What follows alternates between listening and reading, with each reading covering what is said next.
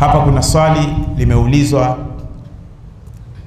kupitia, naona hawakuli- hawakulipitisha kwenye live yenu, limekuja kwangu moja kwa moja kwamba maana tunafuatilia darasa zako hapo mwenye mkuu. Limeulizwa swali, naomba eh, ndugu zangu tuwe na subira kidogo. Limeulizwa swali hili, assalamu alaikum wa rahmatullahi wa barakatuh. Hali shekhe, samahani, kuna swali hapa, naomba ufafanuzi. Mtu ameoa, baada ya kuoa akapatwa na wenda wazimu, yaani uchizi. Katika hali ya kutibiwa huo wenda wazimu ikashindikana kupona, akaendelea kuwa mwenda wazimu, ikabidi ndoa ivunjwe. Swali, je, huzingatiwa ni talaka ngapi? Ni mimi mfuatiliaji wa darsa zako. Mmenisikia hilo swali? Jawabu lake.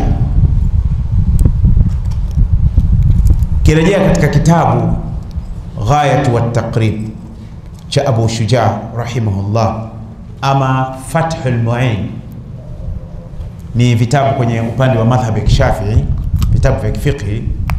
Tumesomeshwa na wazee wetu mashekhe wetu rahimahumullah, ni kwamba katika Ghayatu wat-Taqrib kuna maradhi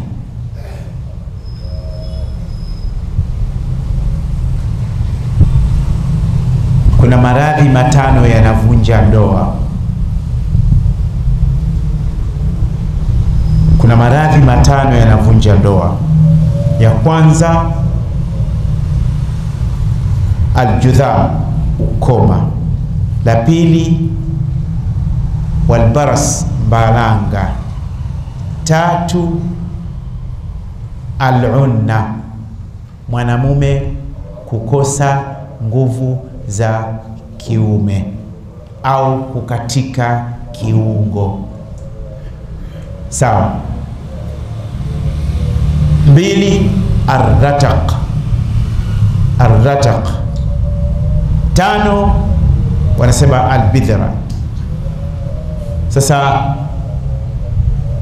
haya maradhi wakati wa Umar ibn al-Khattab radhiyallahu anhu alipokuwa khalifa ni swali limekuja limenikuta njiani, kwa hiyo nalieleza kwa haraka haraka kwa kumbukumbu ambayo bado ninayo, la sivyo faida nyingine tutaimalizia kesho inshallah.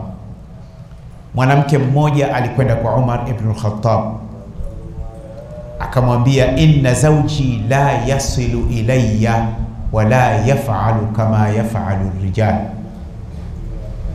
mume wangu hanifikii kitandani wala hafanyi kama wanavyofanya wanaume wengine. Mwanamke amekwenda kwa nani? Kwa amiru Mu'minin Umar. Akawaita masahaba wenzake waliokuwepo, kaja kina Uthman, kina Abu Huraira, Ali bin Abi Talib na wengineo, akaambia msikilizeni mwanamke. Wakamsikiliza. Umar akamwambia yule mwanamke, mwite mumeo. Akaitwa mume. Alipoitwa mume, akaulizwa, akaambiwa isma ma taqulu au ma taqulu zaujatuk, sikiliza anayoyazungumza mkeo.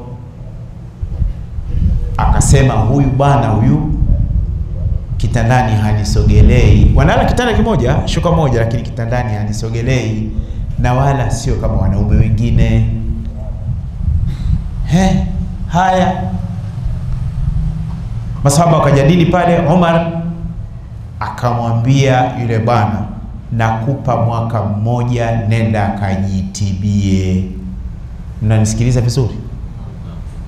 Ni masala ya kifiqhi hatari sana, masala nzito sana, kuwa makini na ukizungumza masala hii ni vizuri kutaja rejea, ili wale wenzako nao wajue umeyapata wapi. Ndio maana nilitanguliza vitabu hivi. Akaambia nenda kajitibie, na wewe kamvumilie mumeo kwa mwaka. Wakarudi nyumbani, maisha yamekwenda. Tarehe ile ilifika mwaka, mwanamke karudi, akamwambia ya amira almu'minin, kana kama kana kama alivyokuwa mwaka jana ndivyo alivyo, haijabadilika chochote. akaita yule bwana, akaambia unasema, nasikia bwana ndivyo ulivyo. Akaambia ni kweli. Akaambia basi, ikavunjwa ndoa. Sasa kuna maradhi ambayo yanavunja ndoa, lakini kwanza familia ziwe na taarifa zote, lakini lazima awepo mtaalamu na yule aliyekuja kulalamikiwa kwa lile jambo aitwe. Kwa mfano, akuja mwanamke kwa shekhe, amemsikiliza, anambia nitie mumeo. Na wanamume baadhi tuna kawaida kuwa jeuri, akiitwa anasema mimi siendi kwa huyo shehe, sitaki kwenda.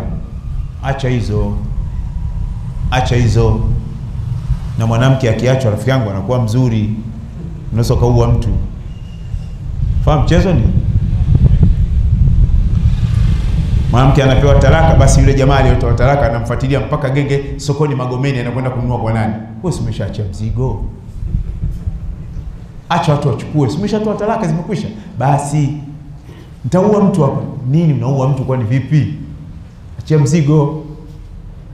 Sasa kisheria kuna maradhi ambayo haitoki, haivunjwi ndoa kwa kipindi chetu cha sasa, mimi ninashauri lazima na daktari awepo, atafutwe daktari specialist. Kama ni mwanamume awepo daktari wa maradhi ya kina baba, wapo au awepo daktari. Kama ni mwanamke awepo specialist wa maradhi ya kina mama, lakini waambiwe mwanzo mpaka mwisho, na wakienda kupimwa wapimwe mbele ya familia zote, upande wa mume na upande wa mke na majibu yatoke mbele ya familia zote, akiwepo na shekhe. Ama shekhe hata kuwepo sawa, yeye atapelekewa taarifa na pande zote mbili. Kwa hiyo ukoma, mbalanga. Mbalanga ni ugonjwa gani? Mbalanga ni wanasema albaras, ni ugonjwa ambao mtu katika sehemu kwenye mapaja anakuwa kama kababu kaba, yani inamwondoa ima kwa mwanamume au kwa mwanamke, anakosa ile testi ya kumwangalia mumewe, sikia, anamnyanyapaa. Ima ni mwanamume anakuwa hivyo au mwanamke, hiyo ni mbalanga, wenda wazimu. Kwa hiyo kuna maradhi matatu mwanamume na mwanamke wanachangia: wenda wazimu, ukoma, balanga. Kuna maradhi mawili mwanamume anabakia na ya kwake yeye, sawa mwanamume ana maradhi mawili, aljabu. Jabu ni nini? Qit'atu dhakar, yani mwanamume ameoa. Baada ya kuoa, usiku ile usiku anakutana na mkewe, anamkuta mumewe ana kipande kidogo namna hii kama vile korosho. Anamuuliza vipi? Ah, bahati mbaya nilipata ajali ya mkokoteni kaondoka. sio tumeelewana vizuri? Ni masala inachekesha, lakini kuwa makini sana katika masala ya kifiki, hasa ustawi wa jamii. Sawa, katika ustawi wa jamii ni muhimu sana kwa upande wa Uislamu. Kwa hiyo ikikutwa mwanamke akikutwa mume ana kipande, anaweza akapiga kelele kungwi, anaweza akamwambia tulia, anaweza kawekwa pembeni, atuambie mmemkutana kipande kama korosho. Msemaje? Kama korosho ni vizuri yule, maana watatafutwa ima wajomba zake au ndugu zake au rafiki zake, anatafutwa huyu na huyu. Bane, nasikia wewe una kipande kama korosho, oya mwanangu, usituaibishe mwanangu, usema. Kwa hiyo inawezekana atafutwe washikaji wanaomweza wamkalie kooni. Ah, kweli mwanangu, tuone, si tuko wawili chumbani tu hapa, tuone. Ah, ni kweli ana korosho, basi itapelekwa taarifa. Kwa hiyo kwa mwanamume ni jabu kipande au unna. Unna ni nini? Yani dhufu aljins, yani ni kwamba mwanamume hajiwezi, amekunywa alkasusi chupa saba, bado ni hivi hivi tu. Hata kisimbuzi kikiwekwa kipya na umeme, hakuna picha inayocheza, hata zile vile vya kurukaruka hamna. Lakini kwa mwanamke ni ratak. Ratak ni aina ya maradhi ambayo mwanamke anazaliwa nayo kibiolojia na hakuna anayeyajua haya, na ukilingana kwamba watoto wa siku hizi wanakuwa kwenye pedis, kwa hiyo kuzijua tofauti na wakati kulikuwa kuna zile taulo zile eh, zilikuwa zinauza, naona zishapotea. Na kuna baadhi ya kina mama wachache mno, katika asilimia mia unaweza ukawakuta asilimia mbili au moja wana tabia ya kuangalia watoto wao wa kike. Wakina mama hawa wanakuwa makini, ni haki yake, ni wajibu, ni malezi mema, na mtoto wa kike anajua mama ninaye kweli, anajua nina mama. Kwa hiyo ikikutwa binti ana hali hiyo ya ratak nyama, ama kuna aina fulani ya sehemu ile ya tendo la ndoa inakuwa imeziba. Siku moja nilikuwa na darasa pahala, bahati nzuri kama unajua, umu ndani msikitini kila mtu ana status yake. Sasa kumbe siku ile alikuwepo daktari. Baada ya kumaliza darasa kama hivi, tumesha swali, akanifuata akaniambia, shekhe, yani yale maradhi mnayazungumza sisi tunayachukulia digrii, kumbe nyewe maustazi mnayo bwana kwenye vitabu bwana. Nikamwambia sisi tumeyasoma hayo, basi sijavaa kile kikoti tu, kile kikoti na tai. Akamwambia haya tumeyasomeshwa haya bwana. Hivi sasa anakuja mwanamke anafanyiwa uchunguzi, kuna aina mbili, ima kuna dawa za kuyayusha zile nyama ana meza ama kufanyiwa operation. Kwa ina maana kwa hali kama hii ni vizuri kwanza wanandugu wote, na si vizuri kwa mwanamume au mwanamke kutoa taarifa kwenye kwa marafiki. Hilo ni kosa ambalo tunalolifanya. Anaweza kana mwanamke yuko na mashosti zake akaeleza. Mm, shosti. Hapana, mm, mimi siko hivyo eh, vipi? Kwa hiyo haya ni maradhi ambayo yanavunja ndoa. Kwa hiyo mwanamke anayo mawili na mwanamume ana mawili, lakini matatu wanashirikiana. Kwa hiyo maradhi kama haya, naomba asikurupuke mtu kutoa talaka kuachana. Hapana, hapana. Kwa mfano, inakuja kesi, ilipelekwa kesi kwa mjumbe wa, wa mwenyekiti wa serikali za mtaa siku moja, mwaka mmoja, nikapigiwa simu saa nne asubuhi, uende Shehe Msaganya? Ndio, hapa ofisini wamekuja mume na mke. Hii bana ni ofisi ya serikali ya mtaa, sijui kwa nini nini. Asema mmoja kati yao anakojoa kitandani. Je, ndoa ipo haipo? Akaambia shekhe, salio langu linakwisha, simu nakata, niweke salio tuzungumze vizuri. Akaweka salio, akanipigia, nikamwambia naomba usitaje jina, ima ni mume au mke, nani anakujua kitandani, acha tu wewe nieleze, weka kwenye loudspeaker. Akaeleza mwanzo mpaka mwisho, nikawauliza ni kweli? Wakaitikia wote ni kweli. Je, inawakera? Wakakaa kimya kwanza.